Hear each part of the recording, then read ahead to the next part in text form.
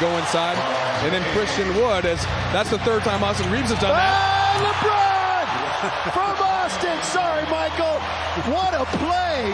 What wow. a play by Reaves to James. Wow, that was behind the back pass to the cutting LeBron for the highlight play. So four quick ones for LeBron, and the Lakers go back up by 11.